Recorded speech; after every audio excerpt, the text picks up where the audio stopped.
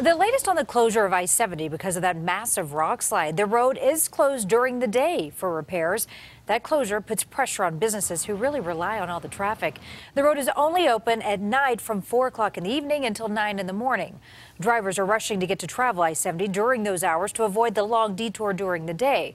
We travel through the canyon with a pilot car leading crews around those road repairs to see the challenges the drivers and businesses are facing. Our Matt Kroschel is now back live tonight. Matt? Yeah, we're here on this side of the canyon, the uh, eastbound side of the canyon, but just on the other side in Glenwood Springs, a town that has been cut off for more than a week, the impacts of all these folks having to detour around their area are already being felt.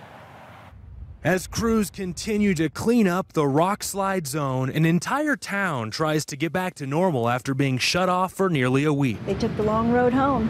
Inside the grill at the Glenwood Hot Springs, workers cook breakfast just like normal, but the number of people showing up for their reservations this last week was down. People know that when you live in the mountains, things like this will happen, you know, so you just learn to live with it. The director of the Glenwood Chamber of Commerce says they won't have real numbers for a month, but across the board, local businesses are reporting taking big revenue hits. But now that CDOT has allowed traffic to move through the canyon again overnight, business should be getting back to normal.